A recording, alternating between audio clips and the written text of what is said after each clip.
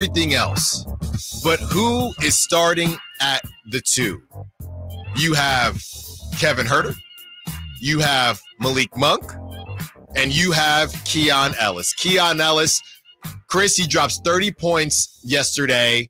He balls out in the Battle of NorCal, and I'm seeing the Kings different Muse accounts, right? The Keon Ellis Yeah. Muse, the the Sacramento Kings Muse, all these accounts saying you're starting, you're you're starting shooting guard moving forward. Keon Ellis will be in the starting lineup. And we talked about how, okay, it's summer league.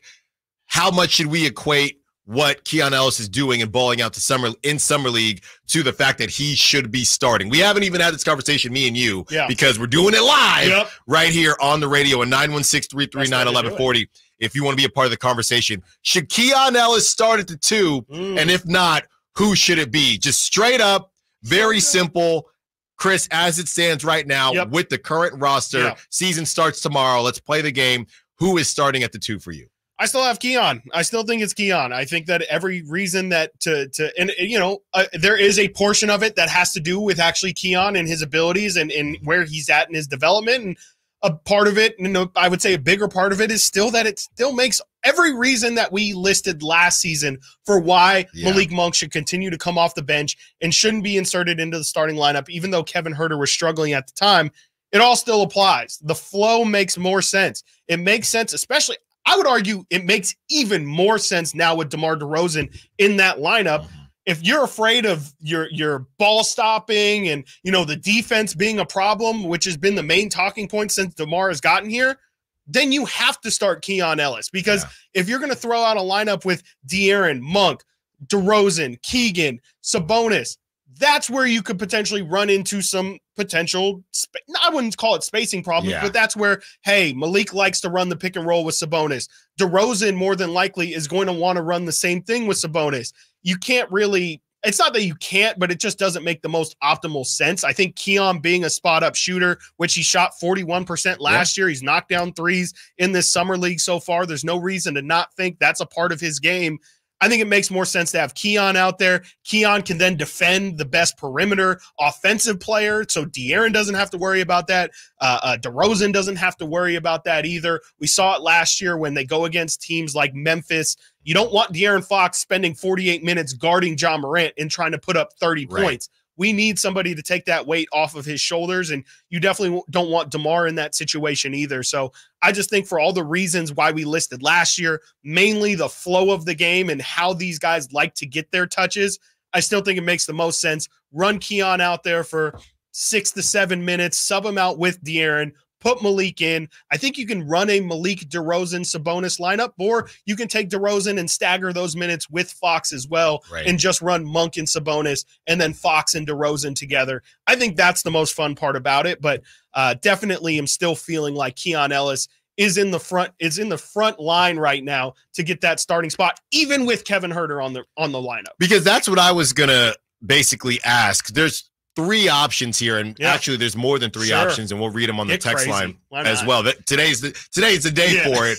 But I would say Kevin Huerter as and I feel crazy saying it's based on what I've said about Kevin Huerter in the Yeah. past, but I think Kevin Huerter, honestly, you would have the conversation about Kevin Huerter even before Malik Monk with the addition of DeMar DeRozan. So now the question would be Keon Ellis or Kevin Huerter.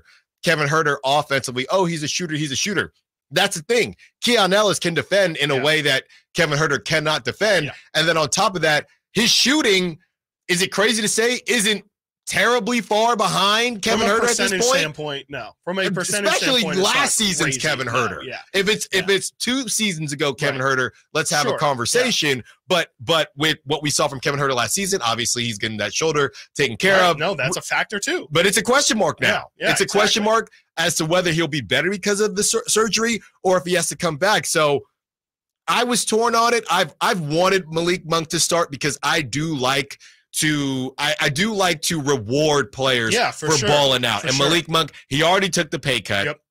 He's deciding to stay in Sacramento. He loves Yep. Sacramento, loves the golf, loves the weather. And now all of a sudden, he's still going to have to come off the bench. But the only reason I'm okay with it and I'm changing my tune Yeah. is because Monte McNair made the move. You mm-hmm. got DeMar DeRozan. We'll get into DeMar DeRozan a little bit later in the show and how that offense will, I guess, evolve. But if it was the same exact roster, I would say, Chris, I don't care Agreed. about the, oh, well, we need him off the bench. I, I think you need to reward this guy Sure. for what he's done. He needs to start and you figure it out later. You get DeMar DeRozan, you have to have a different conversation. And I think Malik Monk would also feel like that because he has said, I want to start, but you know, I want to do what's best for the team. Right. Malik Monk was probably of the mindset of if I take this pay cut Mhm. and you run out the same lineup and I have to come off the bench still, then we have a problem. I think the conversation was with Monte McNair and ownership, everybody with Malik Monk. Hey, we're gonna make a move, and we're our plan is to make a move. Yep. If we don't make a move, you'll start. If we make that move,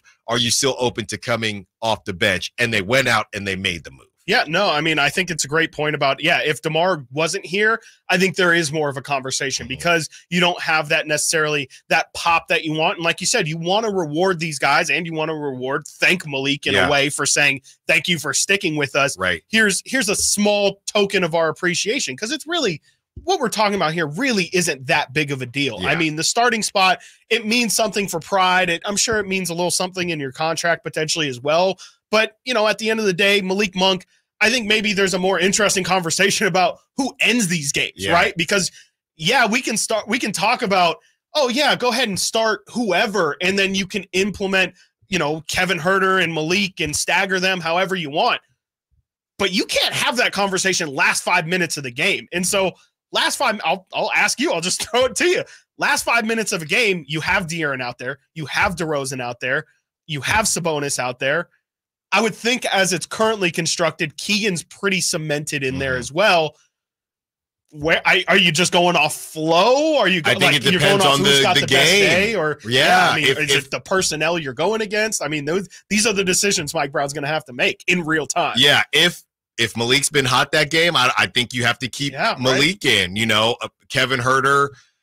i- If he's hot, you keep Kevin Huerter in, Right. and if neither of them are hot, you go with Keon for defense. That that's essentially what I would So say. So that would be your your hierarchy would be Malik one, Huerter two, uh, uh Ellis three. Basically, For- it's it's yeah. hotness. Mhm. Okay, this is essentially what did Abercrombie and Fitch get in trouble for that? And there was, you know, they were only hiring hot people. I would say it's based on who's Yeah. hot between Malik Monk and Kevin Huerter, and then you always have Yeah. Keon. Yeah. Or if you're trying to protect a lead, Right. Yeah. then that could be if it you're too, right? chasing, it's Malik or or Kevin Huerter. If you're protecting a lead, Yeah. you go Keon Ellis. One thing I've seen from Keon, and we tried to do this breakdown, his shooting, and this was his first year, but that second half shooting was not the same as the first half Sure. shooting. So you have to be okay with that if you're not chasing. If you're protecting a lead, Yeah. then I then I go with Keon. You have some other other ideas here, Chris, that are coming through. Somebody says, and this isn't what I would do, but we respect everything and all the different opinions. From the 916, they would go Sabonis, Lyles, Murray, DeRozan, Fox. I'm just I don't think that's. I need to I need to see more from Trey Lyles. yeah. Uh, he's not a starter to me right now. Yeah. uh, That's for their starting lineup. that would is? be their starting lineup. Yeah. I think- DeRozan yeah. at the shooting guard position. Yeah, that kind of depends on, I guess, how big you want to go. Like, you, you- that's a little bit of a bigger lineup. If you're running a backcourt of Fox and DeRozan, you Mhm. you you know you might not have the top end length, but you definitely have general length. Um, but I don't I don't really love it. Yeah, I don't think Trey is no disrespect to Trey, or I don't mean any disrespect to Trey, but I just don't really think he's a starter quality guy. And I do Yeah. think that there's others on the team that are just more deserving of of getting that kind of role. I think Trey could have at one point stepped into that, but I, I, to your point, I just haven't really seen enough from Trey, especially in this past year, Yeah. that makes me feel like, yeah, Trey Lyles, it's not crazy to Mhm. start him. It to me, it just makes more sense to slide everybody else up or potentially make that. I mean, you know, I think this is the reason why everybody's talking. There has to be another move exactly. because that's the spot that just like are we gonna start Trey Yes. Lyles there or what exactly are we doing? So I definitely understand why that is the thought process, but I just feel like Trey to me is the fourth. Like I would much rather go. I would rather start Malik Monk than than Yes. go the route of starting Trey Lyles. If Yeah. that makes sense. and it, and maybe it's a different conversation next season. Again, this uh, exercise was as presently constructed. We still think Yeah. the we still think that the Kings are going to make another move.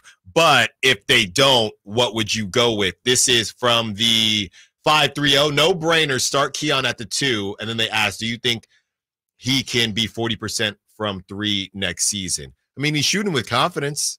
I think so. And he's going to get a lot of open looks because they have no choice now. The other teams, they Keon is the guy that you are okay to let beat you. So he's going to have that opportunity. The 279 is not high on Kevin Huerter at all. Keon is better than Kevin top to bottom. Sure. Keon dogs Kevin. Get Kevin out of here. Can't stand the three guy who can't hit him. He's not that good, and his defense is trash, big trash. Keon is him. Start trash, him at the two. Trash. Monk off the bench is the fuel we need to push. I'm not willing to write off Kevin Huerter that much yet. And I do think we are all very high on Keon Ellis. And Keon Ellis had a breakout season, and Kevin Huerter had, what was it, Chris, the second worst season of his career besides his worst, rookie yeah. year yep, or, exactly. or second year in the league. So Kevin Huerter's stock is low, but I'm not going to count anybody out. That just means he's going to come back with a vengeance. That's a, that's a training camp battle that I can't wait to watch either. Yep. We are talking about NFL training camp. Yep. What about NBA training camp? I don't think anybody has anything solidified yet. And if Kevin Huerter, I, I believe he'll be nice and healthy yeah. by then. So all three of them, of you know, Kevin Huerter and throw Trey Lyles in there too. Why not? Kevin Huerter, Malik Monk, and, and Trey Lyles to some degree, and Keon Ellis have them all battle it out. And Mike Brown, he got that extension. We trust his, you know, his authority and what he's going to choose to do.